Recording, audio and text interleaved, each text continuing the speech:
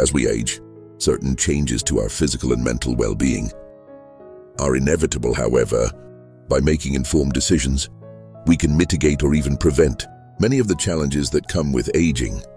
In this video, we'll highlight 70 mistakes men should avoid in their later years.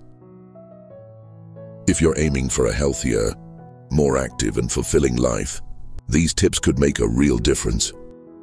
First, neglecting physical health. Disregarding your physical health in your golden years can lead to chronic conditions such as high blood pressure, diabetes and heart disease. Regular health check UPS can catch these issues early, making treatment more effective. Second, skipping exercise.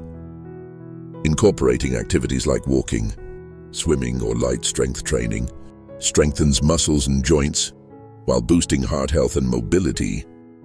A sedentary lifestyle can lead to muscle weakness and brittle bones, increasing the risk of falls and fractures. Third, social isolation. Withdrawing socially can lead to depression, anxiety, and even cognitive decline. Staying socially active through community groups, religious events, or spending time with loved ones is vital for mental well-being. Fourth, ignoring a healthy diet. A poor diet can contribute to heart disease, diabetes and obesity as metabolism slows with age.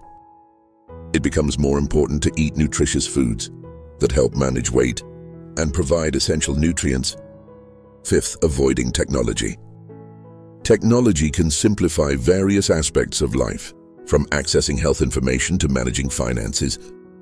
Avoiding these tools can limit your independence and diminish quality of life in later years.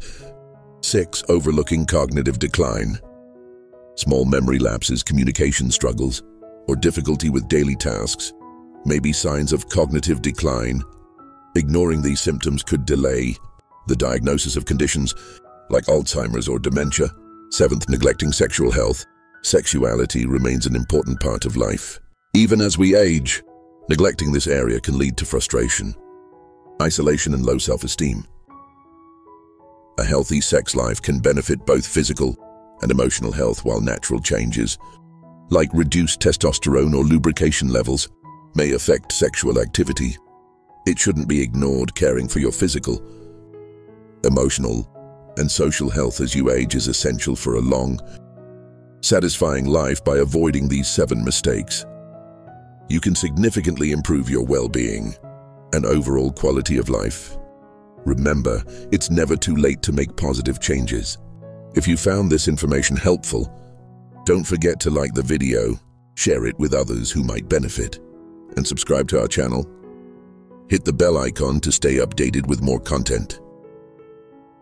Take care and see you in the next video.